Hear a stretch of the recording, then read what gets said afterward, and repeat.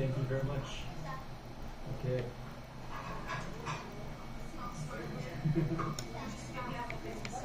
After that incredible barbecue, time for dessert.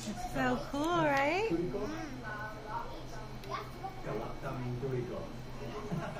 a custard pie. Yes, these Greek custard pie. Oh, so beautiful. I love the different, you can see so many different textures already. The strategy right into the center. Custard is drizzled with custard underneath. It's saturated with syrup. oh,